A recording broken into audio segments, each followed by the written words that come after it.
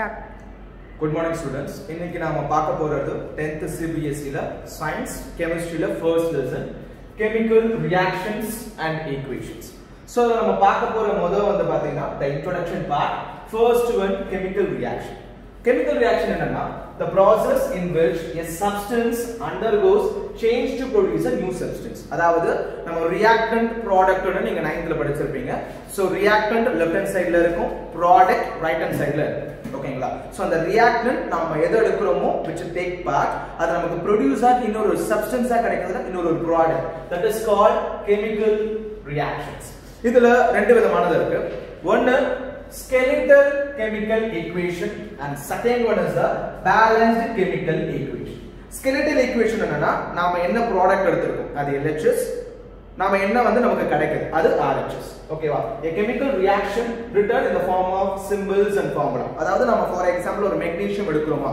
Magnesium plus அது burnt in oxygen oxygen ஆக்சிஜனோட கிடைக்குது ஃபார் எக்ஸாம்பிள் நான் போட்டு காட்டுறேன் Mg magnesium burnt in oxygen நல்லா பார்த்துக்கோங்க இந்த வேர்டு burnt in oxygen கொடுத்தாலும் இந்த presence of air னு கொடுத்தாலும் நம்ம oxygen தான் எழுதணும் ஓகேவா இது reactant and product side என்னன்னா வந்து பாத்தீங்கன்னா நமக்கு கிடைக்கிறது MgO the Mg means magnesium ஓகேவா and then MgO means magnesium oxide magnesium oxide so இத என்ன சொல்லுவோம்னா ஸ்கெலிட்டல் கெமிக்கல் ஈக்குவேஷன் சொல்லுவோம். ஏன்னா இங்க எம்ஜி ஒரு மாலிகூல் இங்க எம்ஜி ஓகே இங்க வந்து பாத்தீங்கன்னா ஓட்டு எத்தனை இருக்கு நமக்கு?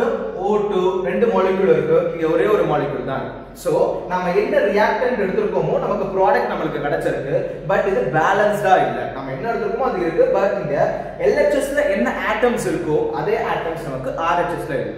So this is an example for skeletal chemical equation and then we go to balance the chemical equation போனோம்னா the number of atoms of each elements on LHS இங்க LHS ல எத்தனை elements இருக்கோ எத்தனை compounds இருக்கோ அதே equal side நமக்கு RHS ல இருக்கும் for example magnesium இங்க ஒண்ணா so இங்க ஒண்ணு இருக்கு ஆக்சிஜன் இங்க பாத்தீங்கன்னா நமக்கு ரெண்டு மாலிக்யூல் இருக்கு இங்க நமக்கு என்னது ஒரே ஒரு மாலிக்யூல் தான் so we have to balance the chemical equation so இங்க 2 ஆ சோ நாம எப்பவுமே வந்து பாத்தீங்கன்னா பேஸ்ல நாம மாலிக்யூல் நாம போடவே கூடாது. நாம எப்பவுமே ஃப்ரண்ட்ல தான் போடணும். சோ ஃப்ரண்ட்ல நாம என்ன பண்றோம்? 2 போடுறோம். சோ இங்க பாருங்க.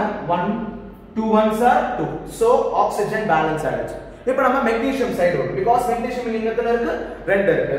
சோ மெக்னீஷியம் இங்க ஒன்று தான் இருக்கு. So we put 2 so 2 magnesium 2 oxygen 2 magnesium 2 oxygen so we get the product magnesium oxide